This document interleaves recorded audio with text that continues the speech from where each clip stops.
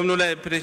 doamnă președinte al Senatului, domnule președinte al Camerei Deputaților, doamnelor și domnilor parlamentari, domnilor miniștri, doresc să vă mulțumesc foarte mult pentru uh, dezbaterea bugetului de stat, pentru efortul pe care l-ați făcut ca în această perioadă să reușim să avem bugetul aprobat. Este pentru prima dată când în România avem aprobat bugetul înainte de jumătatea uh, lunii decembrie, vreau să vă spun că este un buget realist, echilibrat, care vizează susținerea economiei și protejarea populației.